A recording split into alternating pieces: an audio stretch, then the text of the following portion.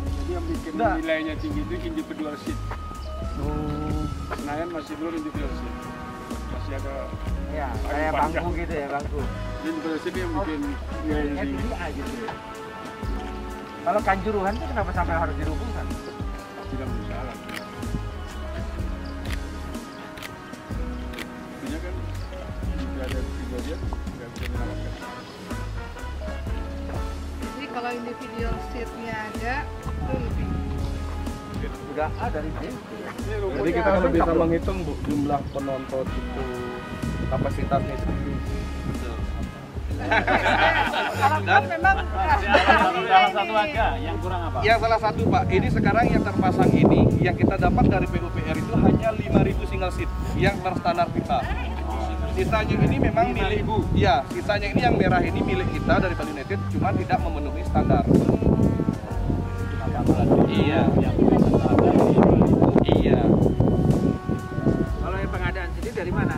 Ini dulu kita punya dari Bali United, Pak. Ya maksudnya eh, impor atau Dari, dari, dari, dari sini. lokal ya?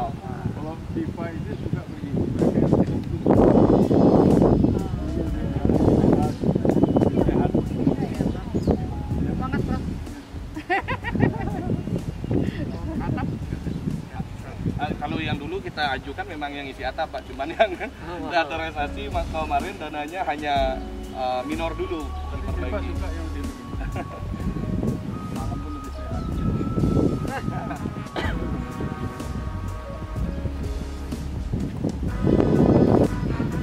Kalau kita di sini 75 menit udah kita buka. Menit ke 75. Iya, 15 menit. Minimal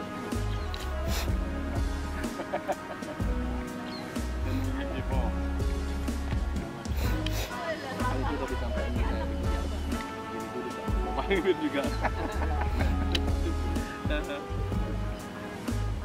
Memang standar eh, tagar dari penumpang sini masih di, eh, dari apa dari penonton segitu aja. Ini boleh. Sebenarnya kalau tribun dan sampai kemari, dibenarkan 3 meter dari lapangan. Sementara kan di Indonesia hanya baru mohon maaf ya, mohon maaf ya, baru kita aja yang berani pendek segitu padatnya dan dekat dengan lapangan. Lapangan. Di Kanjuruhan kemarin Nah itu Jauh. eh, jauh, Jauh. cuman mereka Lompat ya? curang. Tapi dia lompat gimana ceritanya? ini? Kalau udah tertib itu jaraknya nggak masalah. Yang menjadi masalah perilaku yang tidak tertib tadi. Setuju. Yang nggak sportif ya. Di Inggris sudah Sudah Ya. tertib, terbuka aja bola ditangkap sama penonton. penonton.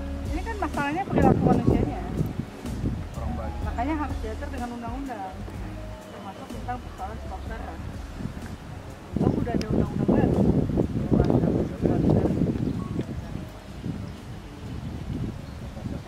Ya karena sebetulnya yang karena nggak mereka menerima sebenarnya merasa bisa karena merasa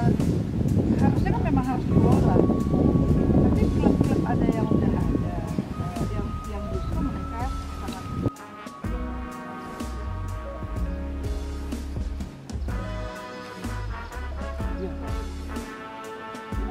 atas kaca itu tidak posisi.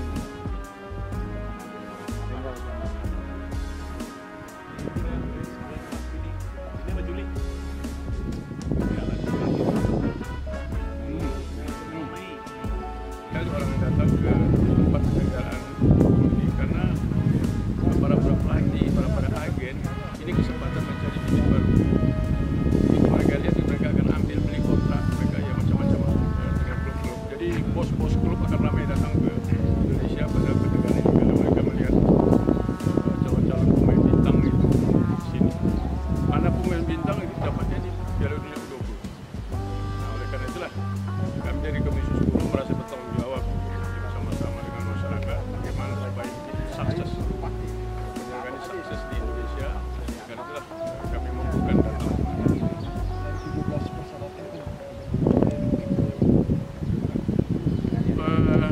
ya nanti dari semua persyaratan itu secara bertahap kita akan selesaikan ya. Kita akan dorong pemerintah dan penyelenggara juga di sini semua persyaratan yang diminta oleh FIFA itu akan kita penuhi. Jadi kami melihat tadi sekilas dan nanti akan penjelasan yang lebih dalam. Sangat memungkinkan. Saya akan terpenuhi semuanya dan waktu kita masih Aman, ya, aman dah. Oh, di Keadaannya kan kita tahu ya. Eh, di seluruh beberapa kota